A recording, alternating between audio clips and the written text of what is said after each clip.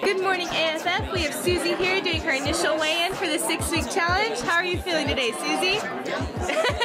you're gonna feel great in six weeks. Let's hop on the scale. Initial weight is 184.8. Good morning, AFF. We have beautiful Susie here to do her uh, final weigh-in for the six-week challenge a few days early. You feeling good this morning, Susie? Good. let's hop on the scale, see where you're at. 164.8. And she got it! oh, man. Don't matter, age is never too late.